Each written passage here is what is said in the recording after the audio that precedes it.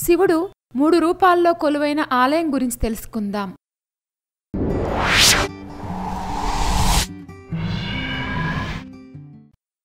సత్యనాథర్ ఆలయం. ఈ ఆలయం తమిళనాడులోని సిర్కజీలో ఉన్న శివునికి అంకితం చేయబడిన హిందూ దేవాలయం. ఈ ఆలయాన్నే బ్రహ్మపురీశ్వర ఆలయం మరియు ధోనియప్పర్ ఆలయం అని కూడా పిలుస్తారు. మూడు అంతస్తుల్లో మూడు వేర్వేరు శివాలయాలతో కూడిన పురాతన ఆలయ సముదాయం ఇది.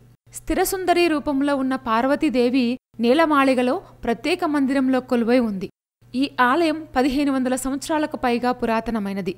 సిర్కాళి అనే పేరు కాళీదేవి నుంచి వచ్చిందని నమ్ముతారు. ఎందుకంటే కాళీదేవి ఇక్కడ స్వామిని ఆరాధించిందని అందుకే ఈ క్షేత్రానికి శ్రీకాళి అనే పేరు వచ్చిందని అది కాలక్రమంలో సిర్కాళిగా మారిందని చెప్తారు.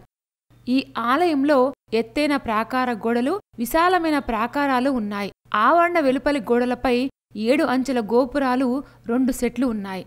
ఈ ఆలయానికి సంబంధించి ఇరవై రెండు నీటి వనరులు కూడా ఉన్నాయి. ఇక్కడ శివుణ్ణి మూడు విభిన్న రూపాల్లో పూజిస్తారు. ఈ ఆలయ అష్టాంగ విమానం మూడు అంతస్తులతో కూడి ఉంటుంది. మొదటి అంతస్తులో శ్రీ బ్రహ్మపురీశ్వరుడు తిరునిలై నాయకి దేవితో పాటు లింగరూపంలో కొలువై ఉన్నారు. రెండవ శ్రేణిలో శ్రీ పెరియ నాయకర్. ఈయన్నే తోనియప్పర్ అని కూడా పిలుస్తారు. పెరియనాయకి దేవితో ఒక తెప్పతో కూడి కొలువై ఉన్నారు.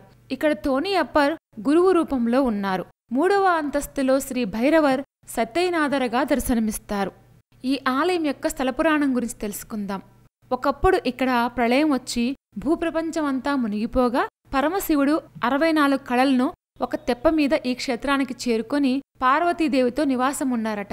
తెప్ప మీద ఇక్కడికి ప్రయాణించినందున ఈ క్షేత్రానికి తోనీపురం అని శివుణ్ణి తోనియప్పర్ అని పిలుస్తారు. అలాగే సృష్టికర్త ఇక్కడ శివుణ్ణి ఆరాధించారని నమ్ముతారు. అందుకే ఇక్కడ స్వామిని బ్రహ్మపురీశ్వర్ అని పిలుస్తారు. అలాగే ఈ ప్రాంతాన్ని బ్రహ్మపురీశ్వరం అని కూడా పిలుస్తారు. ప్రతి శుక్రవారం శ్రీ సత్యనాథర కోసం ఈ ఆలయంలో ప్రత్యేక పూజలు నిర్వహిస్తారు.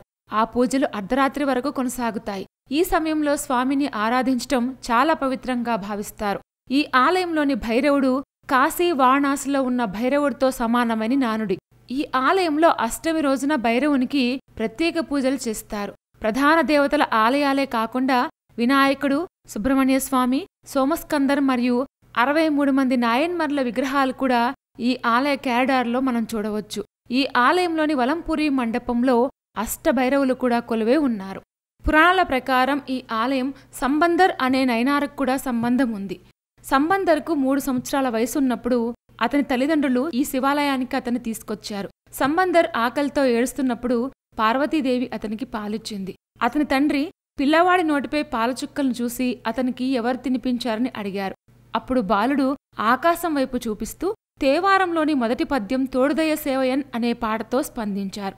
దేవత స్వయంగా ఆశీర్వదించినందువల్ల ఏడేళ్ళ వయసులో అతను వేదాలను స్పష్టతతో వివరించాడని చెప్తారు. ప్రతి సంవత్సరం తమిళనాడు చిత్తిరై అంటే ఏప్రిల్ మేల్లో పది రోజుల పండుగ ఇక్కడ జరుపుకుంటారు.